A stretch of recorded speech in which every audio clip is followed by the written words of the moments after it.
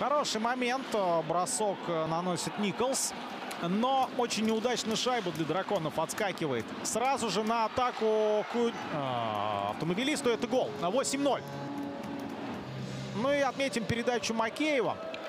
Здорово ударил по тормозам, понимал, что даже в этом случае на возврате не успеют сработать хоккеисты Куньлуни, которые провалились.